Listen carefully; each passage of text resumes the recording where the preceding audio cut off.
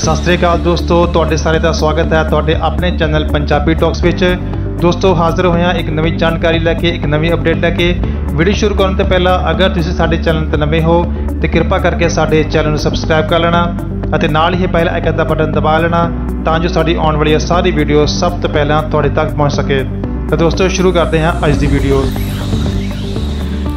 ਠੰਡ ਕਾਰਨ ਸਕੂਲਾਂ 'ਚ 22 ਜਨਵਰੀ ਤੱਕ ਵਧੀਆਂ ਛੁੱਟੀਆਂ। ਸਰਦੀ ਦੇ ਮੱਦੇਨਜ਼ਰ ਸਾਰੇ ਸਕੂਲਾਂ, ਸਰਕਾਰੀ, ਪ੍ਰਾਈਵੇਟ 21 ਜਨਵਰੀ, ਸ਼ਨੀਵਾਰ ਤੱਕ ਹਰਿਆਣਾ ਸਰਕਾਰ ਦੇ ਵੱਲੋਂ ਬੰਦ ਕਰਨ ਦੇ ਆਦੇਸ਼ ਦਿੱਤੇ ਹਨ। ਮਤਲਬ ਕਿ 21 ਜਨਵਰੀ ਤੱਕ ਛੁੱਟੀਆਂ ਵੱਧ ਗਈਆਂ ਹਨ। 22 ਜਨਵਰੀ ਦਾ ਐਤਵਾਰ ਹੋਣ ਦੇ ਕਾਰਨ ਸਕੂਲ 23 ਜਨਵਰੀ ਦਿਨ ਸੋਮਵਾਰ ਨੂੰ ਖੁੱਲਣਗੇ।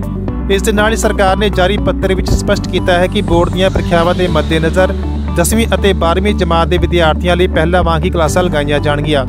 ਸੰਬੰਧਿਤ ਅਧਿਕਾਪ ਅਧਿਆਪਕਾਂ ਨੂੰ ਵਿਭਾਗੀ ਨਿਯਮਾਂ ਅਨੁਸਾਰ ਕਮਾਈ ਛੁੱਟੀ ਦਿੱਤੀ ਜਾਵੇਗੀ।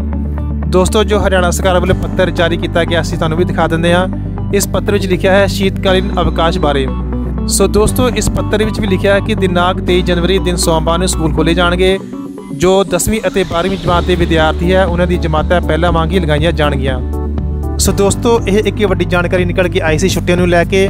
ਹੁਣ ਹਰਿਆਣਾ ਸਰਕਾਰ ਵੱਲੋਂ 21 ਜਨਵਰੀ ਤੱਕ ਛੁੱਟੀਆਂ ਵਿੱਚ ਵਾਧਾ ਕੀਤਾ ਗਿਆ ਹੈ ਅਤੇ ਇਸ ਤੋਂ ਪਹਿਲਾਂ ਚੰਡੀਗੜ੍ਹ ਪ੍ਰਸ਼ਾਸਨ ਨੇ ਪਹਿਲੀ ਜਮਾਤ ਤੋਂ ਲੈ ਕੇ 8ਵੀਂ ਜਮਾਤ ਤੱਕ ਦੇ ਵਿਦਿਆਰਥੀਆਂ ਨੂੰ 21 ਜਨਵਰੀ ਤੱਕ ਛੁੱਟੀਆਂ ਕਰਨ ਦਾ ਐਲਾਨ ਕੀਤਾ ਹੈ। ਪੰਜਾਬ ਦੇ ਬਾਰੇ ਹਾਲੇ ਤੱਕ ਛੁੱਟੀਆਂ ਬਾਰੇ ਕੋਈ ਜਾਣਕਾਰੀ ਨਹੀਂ ਆਈ ਹੈ। ਜਿਸ ਤਰ੍ਹਾਂ ਹੀ ਕੋਈ ਜਾਣਕਾਰੀ ਆਏਗੀ ਤਾਂ ਤੁਹਾਡੇ ਨਾਲ ਜ਼ਰੂਰ ਸ਼ੇਅਰ ਕਰਾਂਗੇ। ਦੋਸਤੋ, ਇਸ ਤਰ੍ਹਾਂ ਦੀ ਹੋਰ ਵੱਡੀਆਂ ਅਤੇ ਤਾਜ਼ਾ ਖਬਰਾਂ ਦੇ ਲਈ ਸਾਡੇ ਚੈਨਲ ਨਾਲ ਜੁੜੇ ਰਹਿਣਾ। ਸਾਡੇ ਚੈਨਲ ਪੰਜਾਬੀ ਟਾਕਸ ਨੂੰ ਸਬਸਕ੍ਰਾਈਬ ਕਰਨਾ ਨਾ ਭੁੱਲਣਾ। ਮਿਲਦੇ ਹਾਂ ਨਵੀਂ ਵੀਡੀਓ ਵਿੱਚ ਇੱਕ ਨਵੀਂ ਜਾਣਕਾਰੀ ਦੇ ਨਾਲ। ਤਦ ਤੱਕ ਧੰਨਵਾਦ ਜੀ।